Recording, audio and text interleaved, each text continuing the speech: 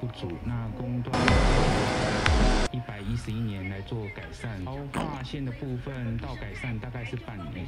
槽画线可能画出不同形状，关键在画线的标准，只有规范到斜纹线周围的边线宽十五公画什么形状才算标准，画的地点合不合理，只能个案检讨。这天停工的风浪不小，在东流线港边很多上游的布袋冲刷下来，因此呢就怕影响到船班，工作人员要不停的清理。